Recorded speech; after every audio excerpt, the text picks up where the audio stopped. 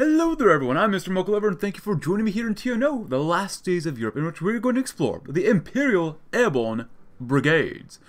The remnants of the Regency's Air Force, never quite as politicized as the Army. With the collapse of the Central Authority and its ranks filled with particularly nasty men under the rule of the commander, Ivan Melkik, they've decided to make out like bandits and looting and pillage to the north of Russia, using their massive helicopter fleet. They fled north to the oil fields near the Arctic Circle, establishing themselves as a force of airborne raiders who live to pillage and plunder with impunity, still waving the flag of the region for the slightest facade of legitimacy. And of course, we are led, like I said, by Melkik, who has a very cool flag. Ivan, Ivan, Ivan. If you'd like to read about him, please go right ahead. Please, please, please. By the coming storm, the suffocating blanket of darkness that had settled over Siberia, over Russia, was pierced by a single glowing ember. It glowed softly as Melkik puffed on a cigarette, and the smoke billowing from his nostrils as he ex exhaled. He watched the tendrils of gray nothing dance like ghosts in the cold Siberian air, and he smiled. Ghosts! Russia was full of them, but Melkik was not one of them, and neither were his men. If Melkik could use one word to describe the Russian race, it would be survivors. They had outlived the Tsar, the Nazis, and now the Blessed Regent. He sneered at the very least one of the Blessed Regents.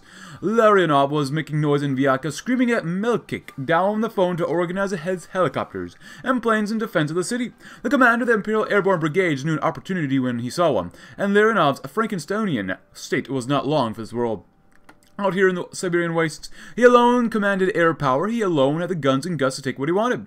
Screw the Regent, screw the Empire. Melkik was the king of the skies. One by one, the blades of the helicopters began to spin, the engines humming as the Raptors prepared for takeoff, and as Melkik stood watching his warriors ascend into the air, a smile crept across his face. Melkik was not just a survivor, but a predator as well. Of course, he's a despotist. We also have support for authoritarian democracy, conservative democracy, a liberal democracy, Putin, huh? Cool. As well as authoritarian socialism under Chibisov. But like lightning. Lidka threw herself to the ground as the plane screamed overhead, throwing up snow as she collapsed, clasps her hands over the back of her head. Bullets ripped through shacks and burst bodies in bright puffs, puffs of pink mist. The Hetman had refused to pay tribute to the air marshal, and now he was murdering them. A shrieking dive bomber swooped low over the town, dropping its payload over the village square in a sudden terrible moment. Everything was light, heat, and noise. Litka did not realize she was screaming until her throat was raw. Splinters, earth, and flesh were rent and thrown wildly by the explosion, and Litka felt a wave of heat thrown from her prone position into the air. She landed at her back some yards away, and the wind torn from her lungs. As she struggled to breathe, she watched as the death machines wheeled overhead. What could they do? A few brave souls had fired their rifles at the planes to no avail, but their bodies quickly turned to wet scraps at the next strafe. Litka tried to push herself back up, but her limbs were unresponsive. She struggled to lift her head, hair, blood, and sweat clinging to her face. What remains of her body was a horror, a mass of charred meat and splintered bone, another casualty of Melkik's rage. Litka slumped back, shock quickly taking over, her last thoughts of her mother. To become a crater is the fate of those who refuse the air marshal. Oh boy. And we do the National Spirit, the Sky Reavers, which looks pretty cool. Oh, we got some anti-tank too. Academic base, nice. Power tools, but the Black Wall. The throaty roar of the AA guns and the chopping of his propeller flooded Kolomonakov's perception. Blocking out all other stimuli as the raging sound beat against his mind, the attack wing swept low over the bunker complex, probing for an opening in the Redeemed Black League's defenses. There were none, though. The fanatics held fast against the Imperial Airborne Brigades, their entrenched AA guns spitting showers of daring Dirg into the sky.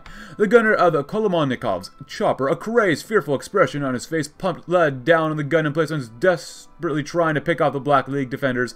Maybe the guns could be neutralized. The gunner howled and careened back, clutching his face and screaming as blood gouged from his jaw. Instinctually, Kolomonikov slipped over the fallen gunner to take his place, gripping the machine gun in his sweaty hands, just as he began to return fire down to the black garbled figures that guarded the concrete hellscape, and his casings pinged and rattled around his feet. Kolomonikov felt his mouth dry and his bowels turn to water as a anti-air gun turned towards his chopper. The flak tore through the soft skin of the helicopter with ease like a giant punching a fly. The cabin shook violently, and as Kolomonikov Kolomonikov was thrown from his feet as the chopper began its death spiral in a swirl of sound and blurred colors.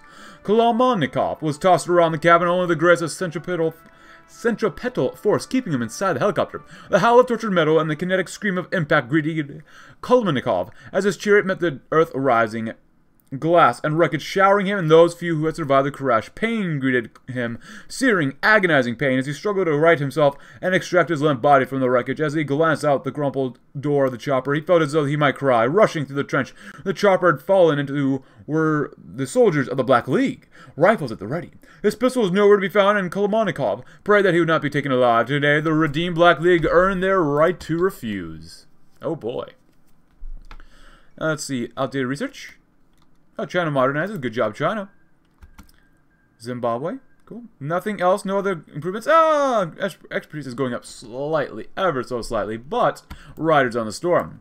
Air Marshal Melikic had waved away the reports weeks back. It was preposterous to think that something as mundane as weather could stop his fleet. The helicopter fleet had been winterized in preparation for raids deep into Siberia long before the collapse of the Holy Russian Empire, and not once had the chopper horde been grounded. Melikic would not suffer the disobedience of Mother Nature, and no weather report would discourage him from taking what was rightfully his. That had been weeks ago, and now the company had embarked for a raid into Nenets territory, was lost in perpetual white. Chopper pilots strained to see through the driving snow of the blizzard, holding their controls in white-knuckled death grips. None dared to turn back, for to return to the air marshal without loot was to face summary execution. The wind and snow wreaked havoc on the blades, and the first chopper that was pushed down to earth by the hoary hands of Boreas landed with a dull crump.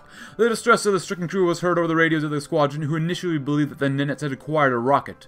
As one chopper scrambled to face a non-existent enemy, it blundered blindly into its brothers, sending them both careening to the ground in a sudden bright orange fireball. When the Nenets scouts found the wreckage, there was no sign of the crew, save for the few corpses frozen solid by the icy winds of Siberia, and the wolf tracks leading off into the forest. Mother Nature tolerates no egoists. Actually, have quite a few factories here. A lot of cities. Wow.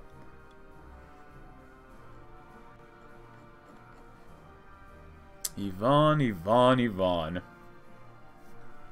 Are we going to raid the Trans-Euro people next? Clash of wings. A bomber exploded in midair, its payload detonating internally, spraying the rest of the aerial fleet with deadly shrapnel. Fighters darted in and out of the bomber formation, the few fighters in Melikic's fleet scrambling to intercept. Choppers and bombers burst with throaty explosions or trailed smoke as they crashed into the Euros below. Where the bad word do they come from? shouted the air marshal from his chopper, watching through the canopy in disbelief as the swooping fighters tore into his precious fleet. There had to be at least a dozen of them, all older Soviet planes, proudly emblazoned with the red star of the old Union. The fighters, long-time heroes of Siberia, were un unmistakable. The free aviators. Nice. Helicopters fired mounted machine guns fruitlessly at the passing fighters, the free aviators easily spinning to avoid the line of tracers.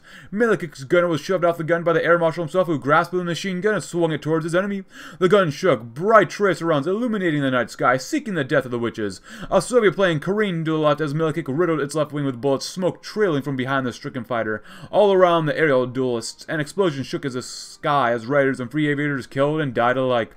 As choppers fell from the sky and bombers exploded midair, Milikic felt his gun cough, the last of the casings clinking to the floor. Bad word! The air marshal shouted, dismounting the weapon. A cold sweat began to percolate on his brow as he slowly came to the realization that the fight was hopeless. Pull back, return to base, screamed Milikic down the radio. As one, the fleet returned to flee. Though they were harassed the whole way back, the free aviators peeled off shortly before the fleet touched down. Melikik was incensed, coming off of his chopper ranting and raving. I, he screamed to the raider, I am alone the master of Russia's skies. When this is finished, the free aviators will be forgotten, and he who speaks their names will be thrown from a helicopter. The raider stared in disbelief. The air marshal has lost his mind. But that was very interesting that we get little glimpses of the interactions that this warlord has with the with its neighbors. But that shall conclude this video regarding the Imperial Airborne Brigades. If you liked it, leave a like. Subscribe if you're new. Check out my Discord link in the description below, and I'll see you tomorrow in a different video. Thanks for watching. Have a great rest of your day.